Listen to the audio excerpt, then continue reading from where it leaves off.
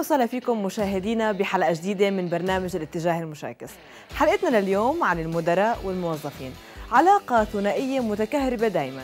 أي مدير بالعالم مش عاجبه شغل موظفينه ودايما شايف إنهم مقصرين.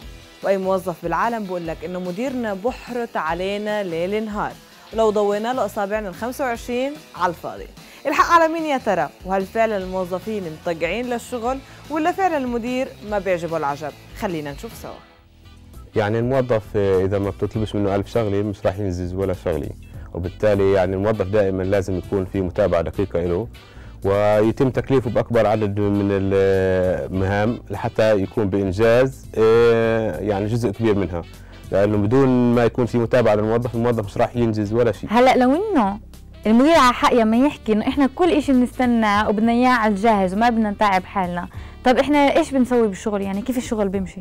لا هو ال- هو هو المدير إيش بده من الموظف؟ المدير بده من الموظف الإنجاز والإنجاز يعني التزام يعني دقة يعني كفاءة هاي الأشياء. المدير يعني في اللي بيهمه دائما في الموظف الإنتاج.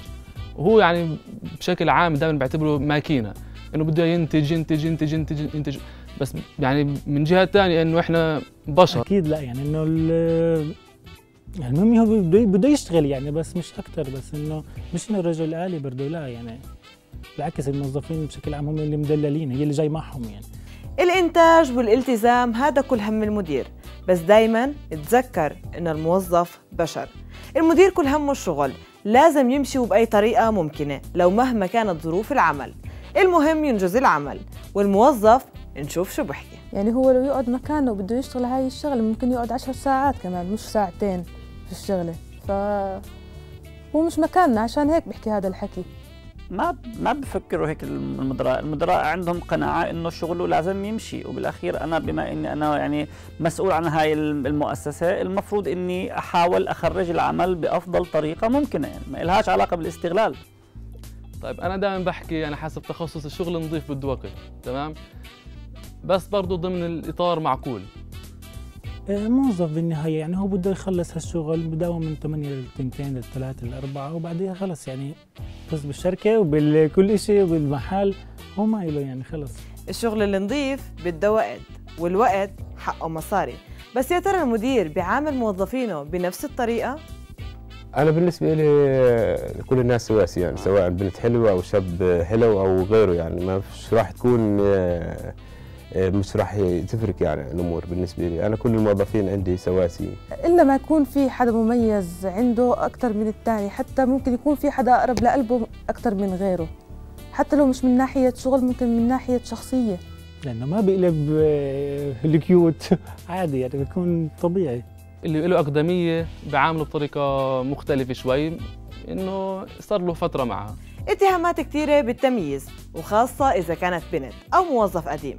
بس صدقوني المدير همه الوحيد إنه يحقق أكبر قدر ممكن من الإنجازات وبيضل يعطي أكبر قدر من المهمات حتى ينجزوا أكبر قدر ممكن. بحس فيه بس مش راح يقدر كله إنه أنا بحس فيك يعني في النهاية. لأن المدير بفكر كل إشي بيجي على الطاير.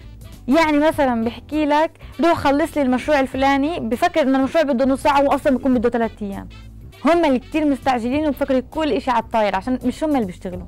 لا أنا لا أي شغله الآن لو لو, لو الموظف آه، أو لو العامل قام بعملية ترتيب لوقته أعتقد إنه كان من السهل عليه إنه الآن سوف يعني يستطيع أن يقوم بأكثر من شغل. أما تحكي لي ألف شغلة ما حدا بيطلب ألف شغلة؟ إذا هو شايف إشي تاني لأنه هو اللي بيكون قاعد مش إحنا اللي قاعدين هو بس بعطي أوامر إحنا اللي الشغل فوق راسنا وإحنا اللي بنشتغل. هو بيجي آه وين وصلتوا شو صار معكم؟ مش عارف شو. في ناس بتحب يعني تاخذ الإشي كواليتي ومنيح وحلو وتمام وبوقت قصير. أنا مش من هذا النوع. بحب أعطي الإشي حقه. بس أحيانا الزبون اللي بيحكم الموظفين دايما معترضين وخاصة على التأخير بالليل. هما بيجوا من الصبح والمدير مدير يا عمي. بيجي إمتى ما بده. يجيب لنا سيارات أو يجيب لنا سيارة تصير توصلنا تيجي لنا في الوقت المعين.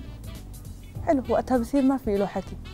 إحنا بنعذر كل كل كل إنسان عنده ظرف بنعذره. بس بالأخير أنت مطلوب منك تقدم عمل وهذا العمل لازم يكون عمل متكامل وعمل بيرفكت طب ليه مثلا ابن أختك ما بيشتغل زينا؟ ليه ابن أختك ساعته دبل ليه مثلا ابن صاحبة أبوك بيشتغلش كتير؟ بيجي إمتى بده وبروح إمتى بده؟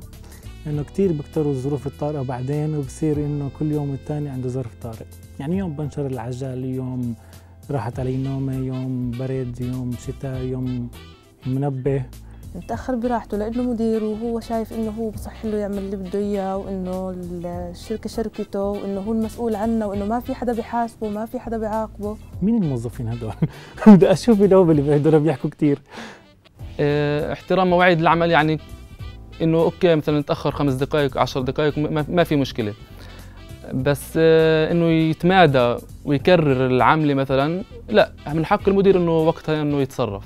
حجج التأخير الصباحية عند الموظف دايما جاهزة. يا بنشر العجل يا عملنا حادث يا ست أمي مريضة. بس يا ترى هل المدير فعلا بيشتغل زي الموظف ولا بس بقعد ورا هالطاولة وبتعامل بغرور؟ المدير هو المسؤول المدير هو اللي عليه كل المسؤولية المدير هو اللي لازم يقبض مصاري المدير اللي لازم يدبر شغل المدير اللي لازم يكون في عنده الكونكشنز فبالأخير الموظف قد يعتقد أن المدير ما عنده إشي بس المدير بالأخير هو المسؤول عن كل شيء. المدير عادة بدخل مغرور شايف حاله أه بحكي إنه وين وصلت وشو اشتغلت وشو عملت. ناسي إنه إحنا الموظفين إنه إحنا اللي مشغلين الشركة وممشين الشركة. لا ما هوش مزبوط هذا الكلام يعني. الموظف ما عندوش غرور. أنا بالنسبة لي مثلا كمدير ما عنديش غرور بتاتا. بعتبر حالي فرد من ضمن مجموعة كنا بنخدم لنفس الهدف. بس أنا دوري إني يعني أكون متابع للأمور وكيفية سير الأداء. لو إنه هو مش شايفنا بالمكان المناسب كان ما حطنا للشغل في هذا المكان. أه بكون إنه معاملتنا يعني إخوة وأخوات أه نكون مبسوطين مع بعض. يعني أصلا بشكل عام لازم نكون كلنا مرتاحين عشان بكره كلنا ننتج. يعني خاصه إنه شغل شغل فني فإذا ما كناش مرتاحين أو في مشكلة بالشركة يعني نفسها ما حدش راح كله متضايق بيعكس هذا الشيء على شغله يعني. علاقة المدير مع موظفه فعلا علاقة متكهربة جدا. بس عشان يمشي الشغل صح لازم الموظف يحس بشعور الأسرة. لأنه بيقضي نص يومه بالشغل زي ما بيقضيه بالبيت. وعشان يكون في انتماء لازم يسمع شكرا ويعطيك ألف عافية. فيا مدراء خفوا شوي وأعطوا حب وشكر للموظف. لهون مشاهدينا بنكون أنهينا حلقتنا. لاقونا بحلقات جديدة واتجاهات جديدة.